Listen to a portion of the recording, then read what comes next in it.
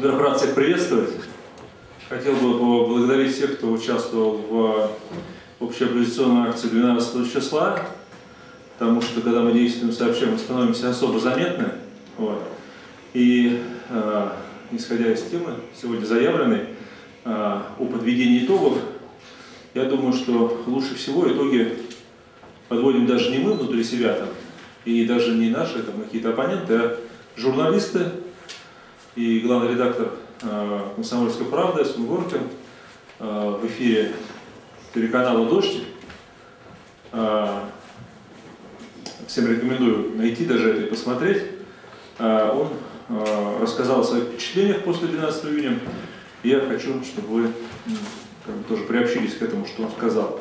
Он сказал, что все должны, и телеканал «Дождь», и Касьянов, и прочие, повесить, скорее, у себя в кабинете портрет Путина, потому что в случае, а, если в России начнутся изменения, а, власть может оказаться, и не просто может, а окажется в руках тех, кому больше всего аплодировало собрание 12 числа. Аплодировано Ивану Миронову, то есть националисту.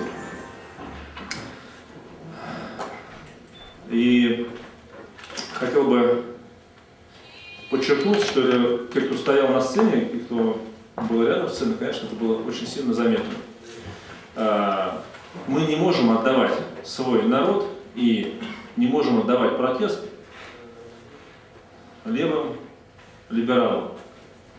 А если мы устраняемся, протест не устраняется, и его волей или неволей все равно а, будут вести те, кто окажется вовремя в нужном месте. Потом бояться, стесняться чего-то не нужно, нужно брать все в свои руки. Постепенно. А, есть определенные страхи у общества в отношении националистов. Это вообще свойственно не только политическому миру, но и вообще сознанию россиян. Вы знаете, что социология установила, что в России как бы вот, есть такая шутка среди социологов, я вообще ненавижу негров и скинхедов проклятых, вот это вот фашистское недопустимое. Вот. Это типичная психология россиянина. То есть он сам по себе националист, может быть даже ксенофоб, самый э, крайний, но он побаивается националистов, потому что у нас сформировался достаточно ужасный образ.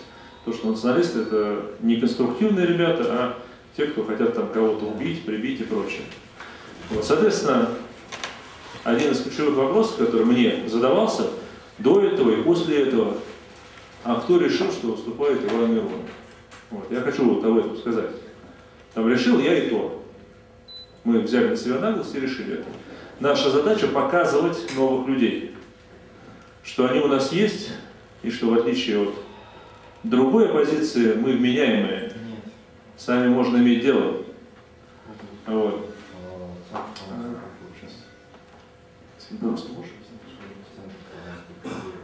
А, и а, я считаю, что выбор был сделан правильно. Я, не, конечно, я был очень удивлен реакцией, которая последовала участие националистов на выступление Ивана.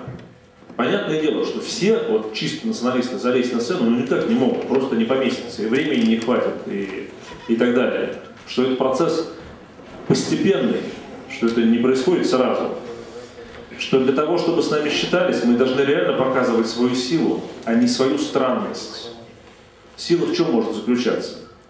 В наличии действительно стройных колонн, большого количества людей. В этом сила на улице.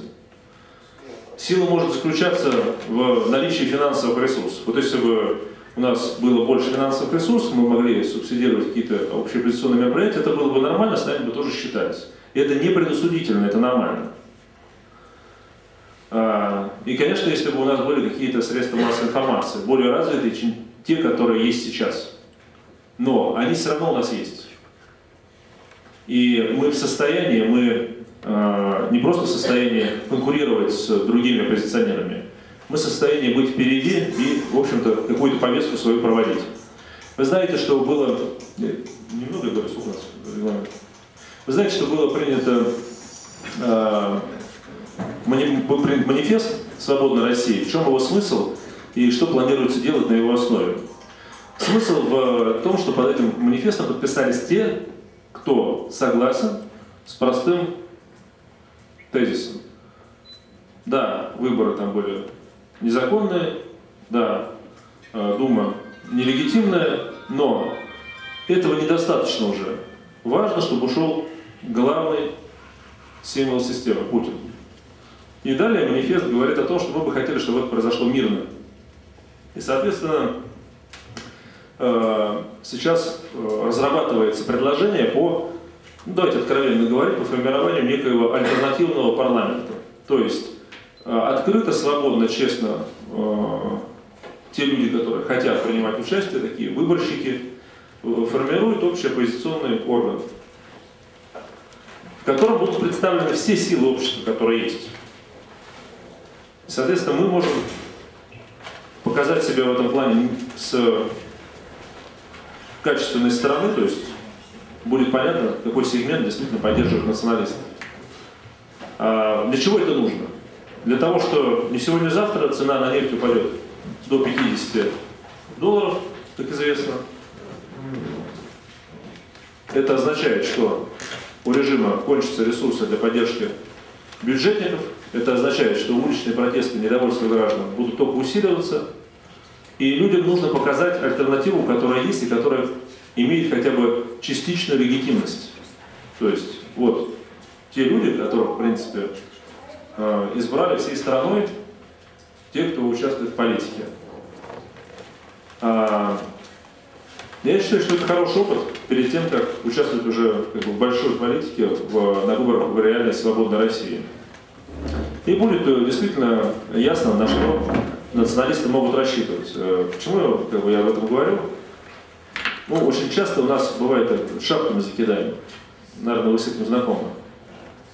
Вот. Ну, я все-таки стараюсь исходить из реальности. Есть цели, цель вся Россия, но есть и реальность. Пока еще мы недостаточно сильны. И я думаю, что участие в таких общеопозиционных э, мероприятиях, оно будет показывать, что мы из себя реально представляем, на что мы можем рассчитывать и на что можем претендовать. Ну, хотел бы пожелать всем э, активизации.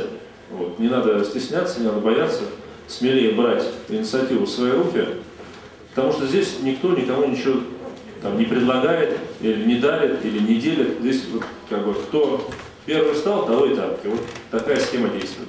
Я надеюсь, что русские вот, в этот исторический период не должны проспать. Это вот ключевое, что я хотел сказать. Мы не должны проспать. Изменения в любом случае будут происходить. И поэтому нужно просто вовремя будет оказаться в нужном месте. Быть готовыми к тому, когда зашатается табуретка, сыграть ключевую роль. Спасибо.